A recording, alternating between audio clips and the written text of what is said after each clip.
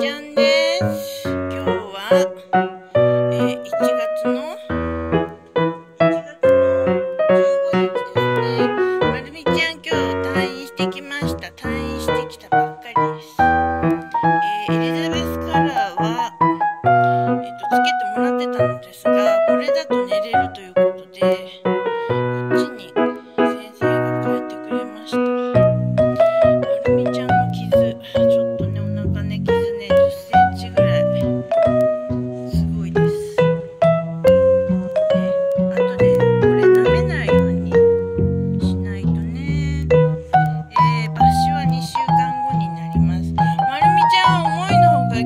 で、えーと、歩き回ってます。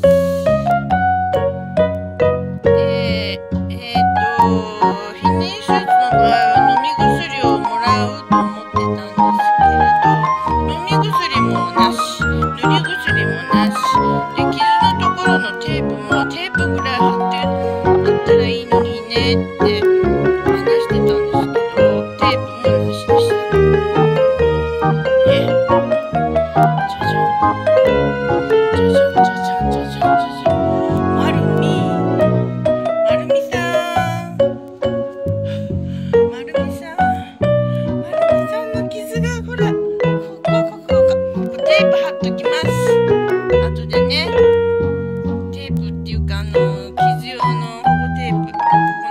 このここ点滴してくださったこういうテープがあるか。それそれぐらい貼らないとね。ね。やめてなった。ね。これがまるみちゃん。の初日の様子です。痛いかなでも元気です。ご飯も食べてうん。ちもしっこもしたって、うん。ちが出たっていうのもびっくりしました。うん。ちは言い切らないと出ないの